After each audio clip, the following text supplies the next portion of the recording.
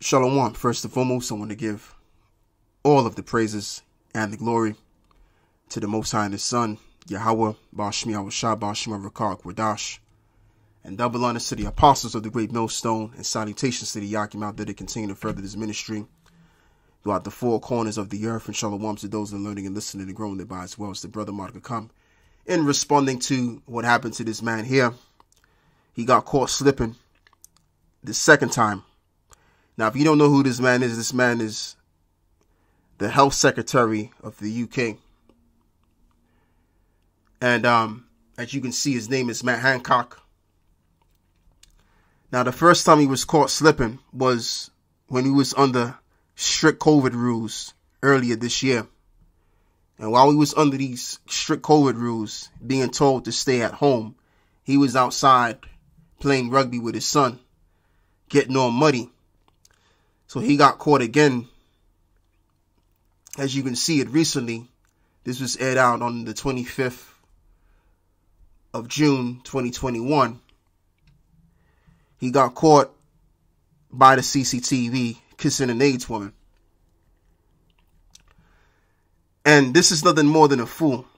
And the reason why I say that simply because he's disregarded his title and what he's supposed to stand for you know, as the health secretary of the country.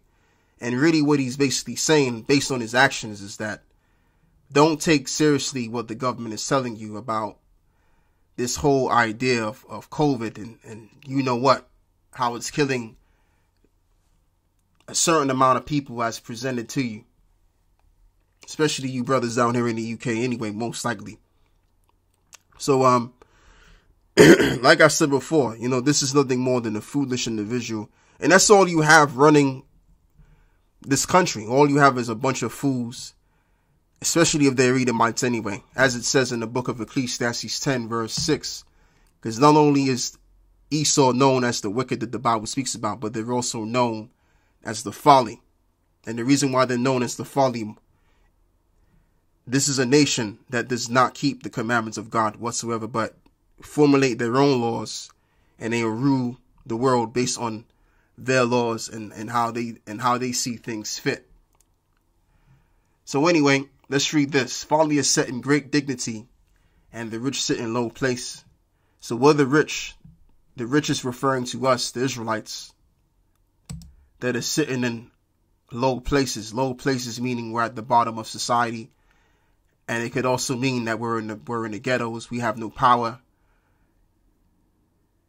and the folly, as I'm going to say again, represents the so-called white man, which they're the most foolish nation above all nations. Even Job said that too, that they were foolish and base men. I'm roughly paraphrasing what he said in the book of Job, 30, I believe it's 33 or 30, the 30th chapter.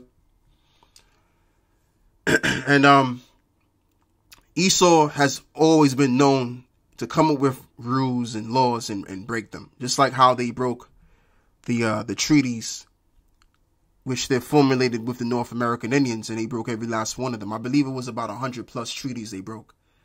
So um, this is a nation you really can't take seriously. I mean, you can't take a nation like this seriously when they resort to wrath because they get down when it comes to wrath and bringing in the evil day, as what the scripture says.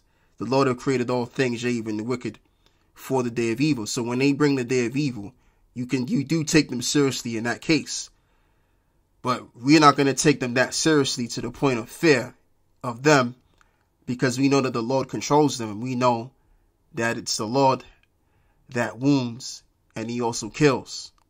All right. So if it's set up for you to die by an Edomite, whether he's a cop or whatever the hell he is, then it was sanctioned by the Lord ultimately, you know?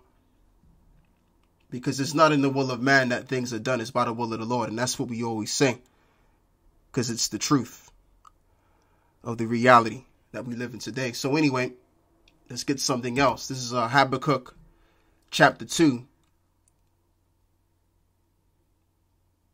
And we're going to read